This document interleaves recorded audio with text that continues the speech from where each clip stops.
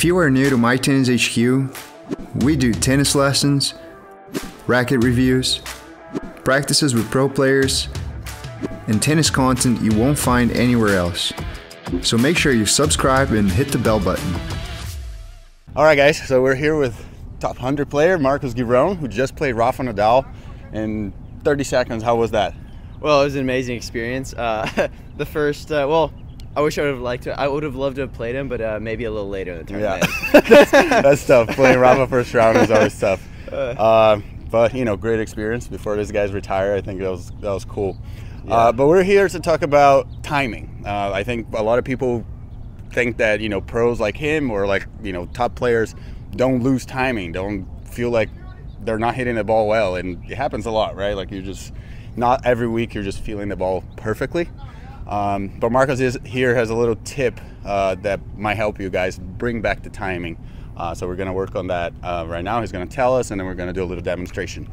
Yeah. So one of the tips that I have is that every now and again, of course, no, nobody feels the ball great every day. And so the, the simple tip for timing is that, that when I'm not feeling well, to hit the ball at its peak. And so I think it's a, it's an easy way, it's an easy cue to, to get you to move towards the ball. Yeah. Uh, many times, uh, like when you're not feeling well, uh, it's due to footwork. It's not being in the right position. Yeah. And it's waiting for the ball, or the ball is just on your feet and you're and you're short hopping it. So it's an easy way when the ball is short that you actually move up to it. Or if the ball is deep, you yeah, sometimes you'll take it on, but it, you give up a little bit of ground to give yourself a better chance to hit a good shot. And yeah. so it's just an easy cue to get the get the get the mind and the feet in sync. Yeah, it's it's definitely. I had something to say. Okay. It's also and, and also it's a good way to create good body transfer into yes. the shot because you're always moving towards the ball. Yeah, I think when, whenever we kind of feel like our timing is bad, we kind of get scared of the ball and start like first step starts going backwards and you're just you're not really like putting your body into it. So this is a good tip. We're just gonna hit some balls now and i'm gonna mic up and marcos is gonna go through a little bit of process and we'll go from there. I, th- I think another aspect of it is it, it's good to create proactivity. Yeah. i think when we play bad we're, all, uh, we're, we're many times very reactive to how the ball plays and it creates a, the right mindset of moving towards it and be proactive and and you know hurt the opponent versus play based on their tempo awesome all right let's go hit some balls Hey guys, Karue here on court as always. I'm always on court. And because of that, I watch a lot of amateurs play tennis and I see a lot of their mistakes, common mistakes that happen all the time. So I created a free tennis guide showing those mistakes and how to fix them really quickly. All you have to do is go to top3mistakes.com and download your free guide so you can start fixing your ground strokes and all your mistakes and start playing some better tennis. And now let's go to the lesson. Nah, dude, it's crazy with Rafa. He just it's not the velocity of shot that affects you. He actually plays short, but it but but makes it very hard to play in the strike zone. And he gets you off the court, and he's so quick. Once you hit a, a ball that's not good, he's able to take advantage. It's crazy. Oh.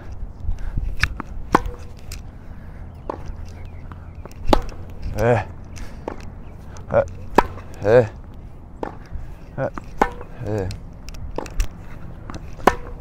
So here at the beginning of the practice, I'm making sure to uh, keep my feet going, to get my feet going. Um, a big part of it is, is the eyes. Getting the eyes tracking the ball quickly and well. And, uh, and so this is early on, I actually, um, I actually do try to do my best getting the, hitting the ball at its peak. And especially on the, especially on the short balls. And in, in a game of, uh, in tennis, like time is so important that any any small opportunity that you can get to get ahead of the point and put time pressure on the opponent is uh, is is valuable. And actually playing Rafa, that's something that oh that shot I did not move up to. Um, that's something that really impressed me with how fast he actually took advantage of short balls. Yeah, he starts the points from deep, way back, but then he will, once he hits a good ball and sees that you hit a short one, he's incredibly quick to, to recognize and to move up in the court and take advantage. Here, boom, on top of the ball, on top of the bounce. Ah, I know, top of the bounce, and boom. Oh, uh, didn't move up to it, but there. It's a good penetrating ball. Good penetrating ball. And also another thing that's good about it is that um, is that it when the ball's up, it kind of creates the mindset to really take over the point and hit a good penetrating big shot. Um, I think many players are so concerned about rotation but when the ball is up, when the ball is high, you don't want to necessarily hit with too much rotation. Otherwise, if you hit a, a shit ball, if you hit a spinny ball that doesn't have good direction, is not deep, it's actually easier to attack on. Boom. Uh, uh.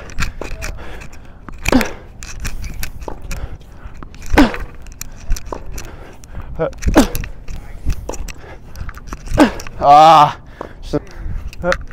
Oh wow, that was just bad timing.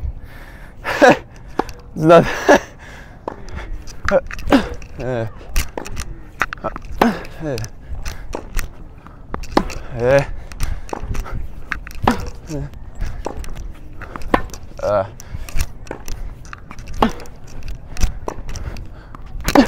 Oh no, that was just a dead ball.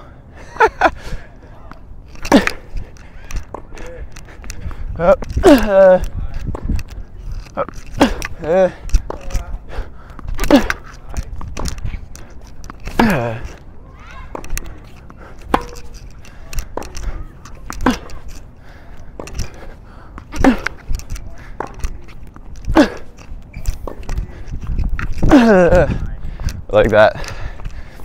If I had just waited back, it would have actually been a really hard shot to hit. But because I moved up to it, being proactive, I was able to hit a good shot. Of course, we're not playing points here, but it gets you in the right mindset. And of course, not every time are you going to be able to hit the ball at its peak, but it's it's getting the mindset to be proactive with your feet and really recognizing the ball early. And just going off of what Marcos says, just to finish up here, like again, looking for that peak. I think a good way for you to continue to find that peak is to really pay attention to the ball bouncing. Watch it bounce so you can really pay attention to when it's going to peak.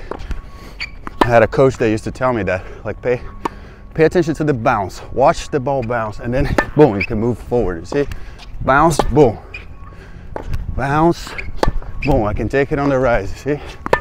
So the more you can look for that bounce, the better it will be. Bounce, boom. See, now I'm putting my entire body through it. And that's how, sorry, no balls. So again, looking for the peak of the ball, watching the bounce. The idea is for your feet to get there, right? We, we often just get there with our rackets and we just extend, but we wanna get there with our feet because we wanna be in perfect position when we're hitting the ball. Okay, very quick tip here from top 100 player to help you with your timing and maybe hit the ball like us. Oh yeah, boom, ball, accelerate. Uh, eh, my bad. Uh, eh. Uh, eh. Uh, peak, boom.